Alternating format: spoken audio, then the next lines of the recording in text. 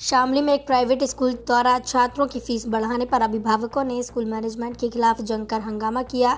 दो दिन बाद स्कूल के छात्रों की परीक्षा शुरू हो रही है, लेकिन स्कूल ने फ़ीस न आने से छात्रों की परीक्षा पर तलवार लटका दी। क्योंकि जिन छात्रों की फ़ीस जमा नहीं होगी, उनको परीक्षा में बैठने नहीं दिया जाएगा। तो वहीं स्कूल के मनमाने रवैये के चलते अभिभावक अपने बच्चों के नाम स्कूल से कटवाने को मजबूर हो गए। अभिभावकों के हंगामे के बाद स्कूल प्रबंधक ने पच्चीस छूट देने की बात कही। दरअसल, शामली में मदरलैंड पब्लिक स्कूल के मनमाने रवैये को देखकर शनिवार को अभिभावकों ने स्कूल प्रांगण में मैनेजमेंट के खिलाफ जमकर हंगामा बोला। बढ़ती हुई फ़ीस की वजह से कोविड 19 महामारी में अभिभावकों को दोहरी मार का सामना करना पड़ रहा है। कोविड महामारी के चलते अभिभावक अभी फ़ीस देने के लिए पर्याप्त रूप से तैयार नहीं है, लेकिन स्कूल की मनमानी के चलते दो दिन बाद होने वाली छात्रों की परीक्षा पर स्कूल मैनेजमेंट की तलवार लटकती नज़र आ रही है। क्योंकि अगर अभिभावकों ने अपने बच्चों की फ़ीस समय से नहीं जमा की तो उनके बच्चों को परीक्षा में बैठने नहीं दिया जाएगा जिसके कारण सैकड़ों की संख्या में स्कूल में पहुँचे अभिभावकों ने स्कूल प्रबंधक का घेराव करते हुए बढ़ी हुई फ़ीस पर अंकुश लगाने की मांग की।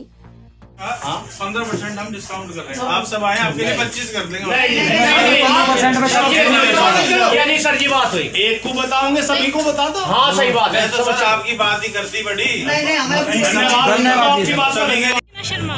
अच्छा यहाँ पे कौन से स्कूल में आए आप लोग? क्या मदरलैंड पब्लिक स्कूल जी। मेरा बेटा सेकंड क्लास में बढ़ा है इन्होंने फ़ीस पढ़ा के जो एनुअल ड्यूज ये हर साल लेते हैं वो इसमें फ़ीस में मंथली फ़ीस में ऐड करके पर्चा बना के दे दिया। और पहले दिसंबर तक की फ़ीस जमा कराओ तभी ये एडमिट कार्ड देंगे। मंडे से पेपर है बच्चों के। क्योंकि इनका ये कहना अच्छा है कितने गार्जियन यहाँ पे आ रहे हैं? गार्जियन तो सौ डेढ़ सौ आ रहे हैं सौ डेढ़ सौ होंगे मेरे हिसाब से। अच्छा धरना प्रदर्शन भी आपने करा। हाँ। जी। प्रबंधक से बात भी करी कोई हल निकल पाया? हल तो इन्होंने कहा कि हम पच्चीस परसेंट दे देंगे। और वो भी आपके लिए जो आपके लिए वो भी। बाकी जो पेरेंट्स है जिन्हें आज नहीं आ पाए जिन्हें कोई खबर नहीं उन, उनकी बस हमारे लिए है पच्चीस परसेंट भी। तो अब क्या चाहते हो आप लोग? हम इसमें बिल्कुल संतुष्ट नहीं है। अब आगे हम कार्रवाई करेंगे। बच्चों के नाम वाम काट टीसी के लिए अप्लाई करा तो टीसी के लिए उन्होंने कहा पहले पिछले साल की सारी मंथली फ़ीस जमा कराओ तब टीसी मिलेगा।